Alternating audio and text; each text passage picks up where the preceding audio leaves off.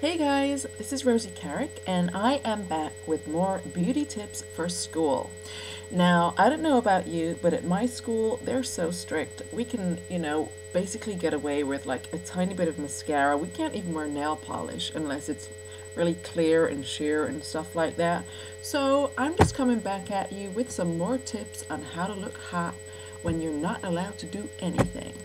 And today, um, we're going to focus on, well, a little bit eyes, but mostly lips. Okay, so first of all, um, I would go for like a really kind of lengthening mascara because if you think that this is basically you know the main thing that you're allowed to wear at school you know you do your hair you've got your sort of uh, clear nail varnish on but you really want to accentuate your eyes make them bigger um, now at our school you can't even wear um, you know, colored lip gloss. We can use Vaseline like this, you know, but that that's really all. And it even got so bad if they started to like search our bags and um, basically dispose of our lipstick and our other beauty products.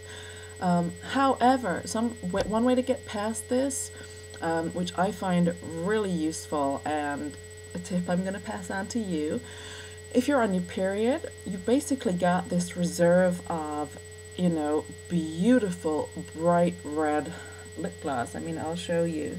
And the good thing about this is, you know, if you're at in your class or in the corridor, wherever in the hallway, you know, um, you see the person that you really like and you want to look pretty for them, all you have to do is just nip out of sight reach down and you have this natural reserve of beautiful um, lip gloss you know? And, and, and it of course just looks natural because it is a natural part of your actual body. So you just gotta put it on like that. I mean it does smell a little bit um, because you know it's like your womb lining and stuff but I mean, to be honest, the color's so good that I wouldn't even bother worrying about the slight odor.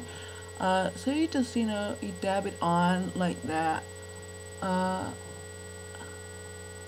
it's really easy. A good thing about this too is that you know your friends might not be on their periods at the same time as you so if one of you is and the other one you know really wants to sort of juice up your lips a bit, you can just borrow, you know, between one and the other. Something I would suggest is if you are going to use menstrual blood for um, lip gloss, I would really put some sort of um, moisturizer over the top because although the color is really good, it can, you know, when it dries, it can become quite flaky and darker in color. So, I mean, if you just put some Vaseline or anything like that on top. It doesn't have to be this. Uh, it really just sort of seals in the color and keeps it looking fresh. Uh, and if the teachers search your bags, of course they're not going to find anything because they're not going to be looking in your vagina, are they? Hmm? Um, so that's it. How to get juicy red lips at least one week a month. Uh, tune in again for my beauty tips for school and I'll see you soon. I'm Rosy Carrick. Bye.